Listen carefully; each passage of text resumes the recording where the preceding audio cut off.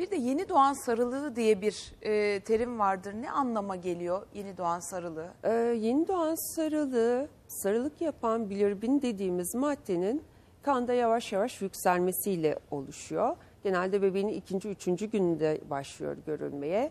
Ee, sarılık yapan madde bebek karaciğeriyle atamadığı için yavaşça yükseliyor.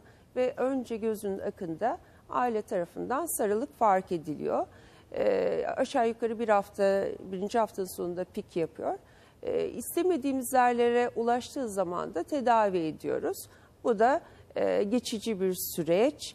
E, karaciğerdeki enzim aktivitesi arttığında, bebek iyi beslendiğinde e, kendiliğinden geriliyor. Çok küçük bir kısmı bizim tedavimize ihtiyaç duyuyor. Evet. Peki anne doğumdan sonra biz şöyle biliyoruz. işte bebek ayrı bir yerde bekletilir.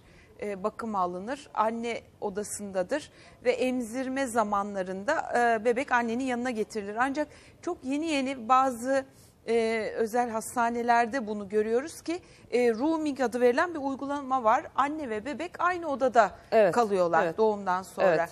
E, bu, Ee, bu nedir ve bunun tabii ki ne gibi Rooming'in, avantajları var e, soralım. Bebekle annenin aynı odayı paylaşması, e, anne ile bebek ilişkisinin temellerinin atıldığı ilk günler çok önemli ve biz ilk günler e, mutlaka aynı odada kalmasını sağlıyoruz. Bu şekilde bebek bebeğe anne bakımlarına katılıyor, istediği zaman emzirebiliyor. E, o ilişkinin ilk temelleri atıldığı bu günler mutlaka aynı odada kalmalı, başarılı emzirmeyi de etkiliyor. E, aynı odada kalması diyebiliriz rooming'in. E, ay- ayırmıyoruz bebekle anneyi. E, Peki bu empatinin kurulan empatinin mutlaka e, diyelim ki anne sütü salgılanmasında bile faydası vardır Her, sanırım. her yönden faydası var. E, iyi bir ilişki kurulduğu zaman anne ile bebek arasında e, bütün süreç beslenme her şey sorunsuz gidiyor.